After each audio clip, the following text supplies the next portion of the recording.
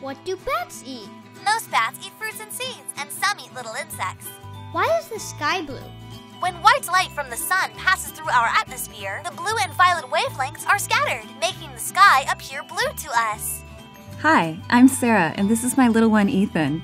He's always curious about everything and asks hundreds of questions each day. We want to encourage his curiosity so we can explore and learn more about the world.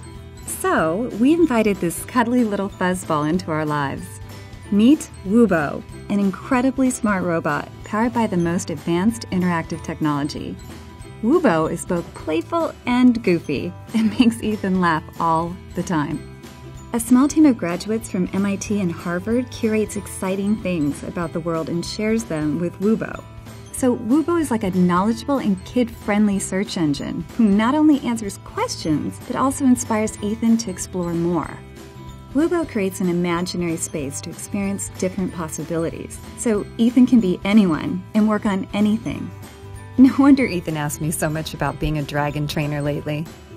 Woobo always knows how to spend an independent and creative afternoon, so Ethan never runs out of fun activities to choose from. Sometimes Woobo helps take Ethan's fun ideas one step further and brings his imagination to life.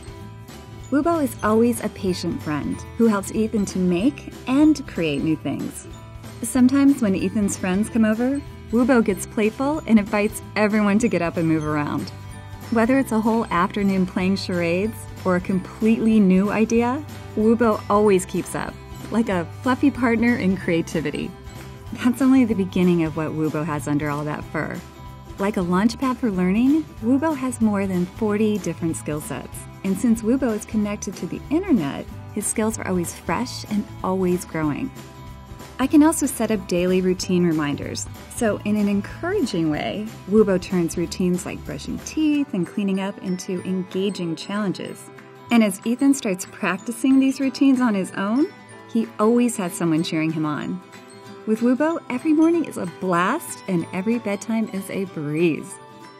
And the stars were blinking at us. Why are the stars blinking at us? Hey, Woobo. Ah, I'm too sleepy. I need to go to sleep. All right, well, good night, you two.